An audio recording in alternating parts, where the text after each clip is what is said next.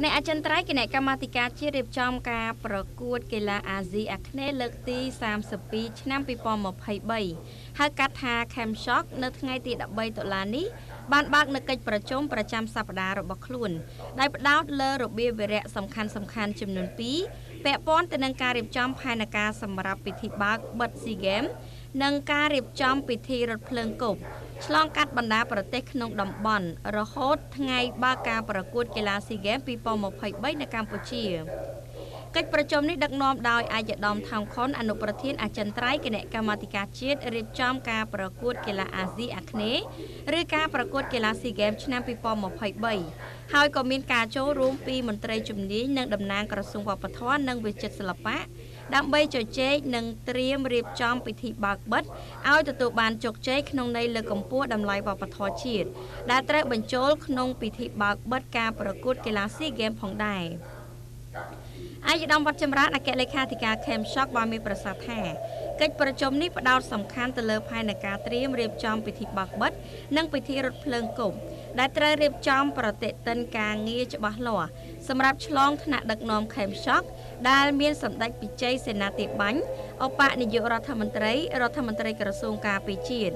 និងជាប្រធានជំរុញការអនុវត្តឲ្យមានប្រសិទ្ធភាពបំផុតបាទថ្ងៃនេះគឺគណៈអចិន្ត្រៃយ៍ របស់គណៈកម្មការជាតិរៀបចំការប្រកួតកីឡា SEA Games លើកទី32ឆ្នាំ2023បានធ្វើបើកកិច្ចប្រជុំដោយរៀងរាល់សប្តាហ៍ក្រោមការដឹកនាំរបស់ឯកឧត្តមថោងខុនរដ្ឋមន្ត្រីក្រសួងទេសចរនិងជាអនុប្រធានអចិន្ត្រៃយ៍របស់គណៈកម្មការរៀបចំ SEA Games ហើយថ្ងៃនេះគឺផ្ដោតទៅលើការយកចិត្តទុកដាក់ទៅលើរបៀបវិរៈ2ទី1រឿងពិធីបើកបិទហើយទី2គឺយើងបានផ្ដោតទៅលើ វិធីរៀបចំការរត់ភ្លើងគប់ឬក៏ការសុំភ្លើងកីឡាទីទេពដែលយើងត្រូវរៀបចំមានពិធីមួយដែលធ្វើការជាមួយនឹងក្នុងប្រទេសផងក្រៅប្រទេសផងអញ្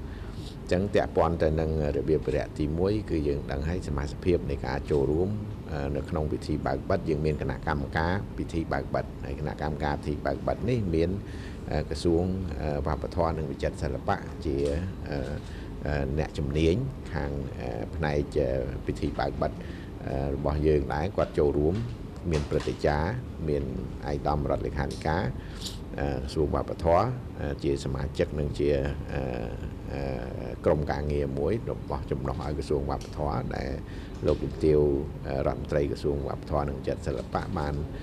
គ្រប់គ្រងឲ្យមានការរៀបចំនៅគណៈកម្មការពិសេសមួយរបស់ក្រសួងវប្បធម៌នឹងជួយដល់គណៈកម្មការរៀបចំបើកបិទនឹងបន្ថែមទៀត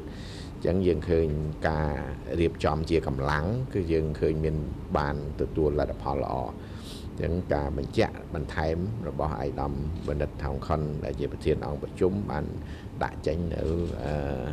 ការដំណើរការនៃ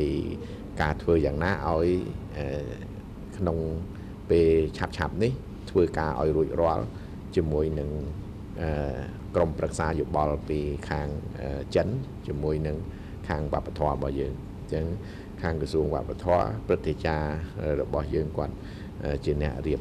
សេណារីយ៉ូមួយចំនួន ដែលបង្ហាញអំពីអរិយធម៌រុងរឿងរបស់ខ្មែរយើងតាំងពីបុរាណរហូតមកដល់បច្ចុប្បន្នហើយនឹងរំលេចចេញនៅ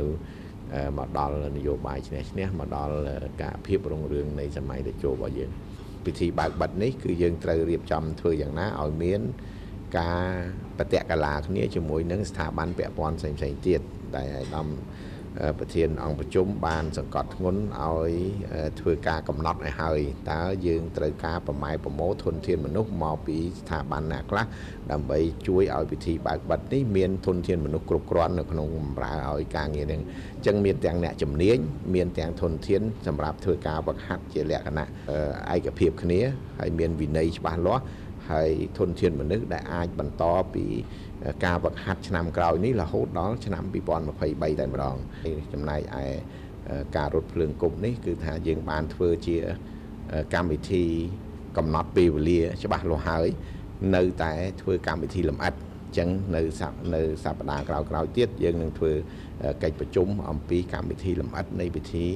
រត់ភ្លើងគប់ដែលយើងទៅរត់នៅក្នុងប្រជាណាចក្រកម្ពុជាយកភ្លើងគប់យករៀបចំ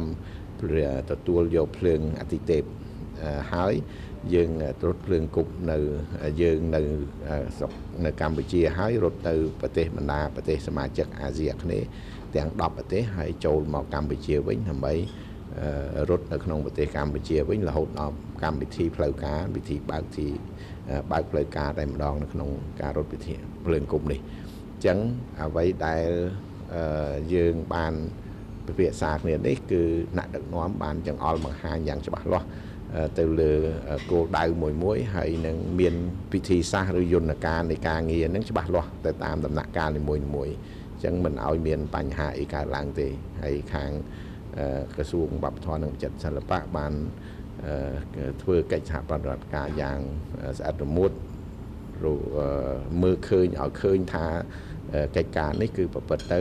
ដោយស៊ីចង្វាក់គ្នាហើយបញ្ចូលគ្នានៅក្នុងស្ថាប័នពាក់ព័ន្ធហ្នឹងដំណើរការទៅបានដោយរលូននិងល្អប្រសើរគូបញ្ជាក់ដែរថាដើម្បីឈ្មោះទៅរកភាពជោគជ័យនៅក្នុងពិធីបើកបិទព្រឹត្តិការណ៍ SEA Games ឆ្នាំ2023 Cam Shock ក្រងនឹងរៀបចំពិធីហាត់សមបណ្ដាបណ្ដាចាប់ពីឆ្នាំ2021តទៅដោយត្រូវការចូលរួមសហការពីស្ថាប័នកងកម្លាំង និងក្រុមយុវជនស្ម័គ្រចិត្តប្រមាណ10000នាក់ចំពោះពិធីរត់ភ្លើងគប់វិញគណៈអចិន្ត្រៃយ៍ខេមឆក់កំពុងរៀបចំផែនការរួចមួយដើម្បីត្រៀមអនុវត្តក្នុងនោះក៏ក្រុងនឹងមានការចូលរួមពីក្រសួងព្រះបរមរាជវាំងផងដែរ។